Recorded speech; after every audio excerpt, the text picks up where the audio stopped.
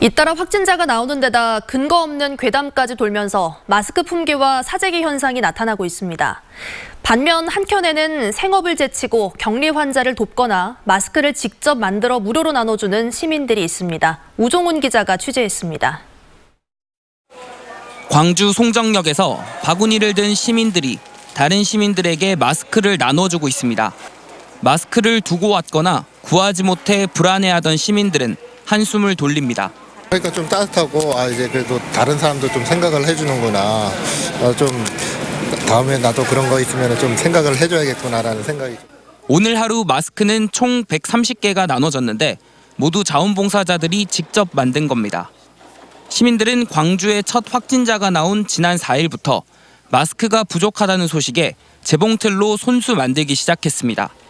시민들이 직접 제작한 마스크에는 이처럼 감염병을 예방할 수 있는 수칙이 적혀 있고요. 마스크는 유기농 천으로 돼 있어서 재활용할 수 있도록 만들어졌습니다. 일단 일요일인 모레까지 1,500개를 만들어 시민들에게 나누고 이후에는 모금도 받아 신종 코로나 확산이 진정세를 보일 때까지 마스크 나눠주기 봉사를 계속할 계획입니다. 미신 가신 분들이 서툴고 막 배워가지고 하는 거예요. 다 잘하신 분이 온 게 아니고 순수한 자원봉사. 광주에서 확진자가 나왔다는 소식에 생업을 제쳐두고 나선 이들도 있습니다. 택시 운전사 노한복 씨를 비롯한 30여 명의 시민들은 광주 21세기 병원 환자들이 격리된 소방 학교에서 생활관 청소와 배식을 도맡고 있습니다.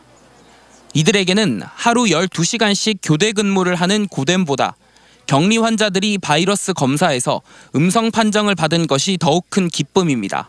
고맙다 그죠. 다른 사람들이 우리를 경- 무서워서 안 올 건데 우리가 식사 배급할 때는 항상 고맙다 인사합니다. 이외에도 기차역을 지나는 시민들에게 손세정제를 뿌려주거나 무료 급식이 중단된 노인들에게 음식을 배달하는 나눔도 이어지고 있습니다. 지역사회가 위기를 함께 이겨내자는 움직임은 5.18 때 주먹밥을 나눴던 광주 정신을 떠올리게 합니다. MBC 뉴스 우종은입니다.